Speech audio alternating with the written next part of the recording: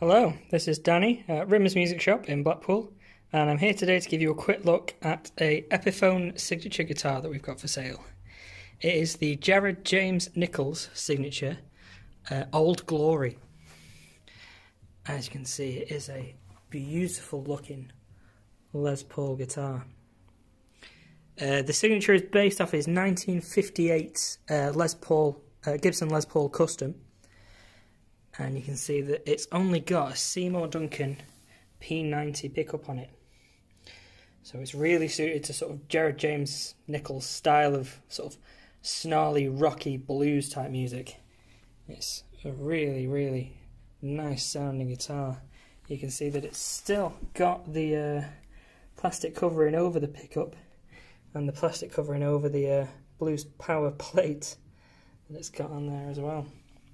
It is an ex-demo guitar, so it could potentially benefit from a restring by its new owner, but the condition of it, as I say, as I go around it, is fantastic. It's a gorgeous finish, and I can't see any kind of marks or scuffs or scratches at all on the body. It is a very, very nice looking guitar. Again, I'll take you up the neck, and you can see the the split diamond Epiphone. Logo on the back and then I'll spin it around and you can see it's got the Jared James Nichols uh, sort of signature replica on the back of the head there. And then again back down so you can get a really nice look at that sort of matte black finish is a gorgeous looking guitar. It does come with the Epiphone EpiLite uh, case with it.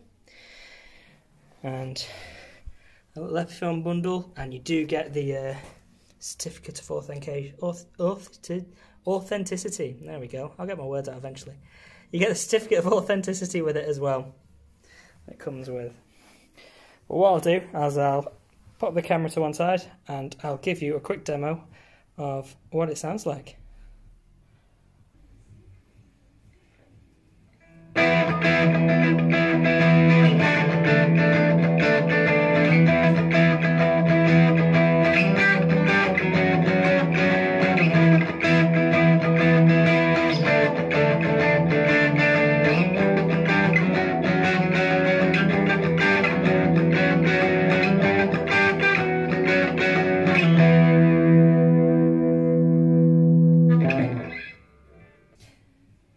We go. The Jared James Nichols uh, signature Old Glory guitar, Ex display.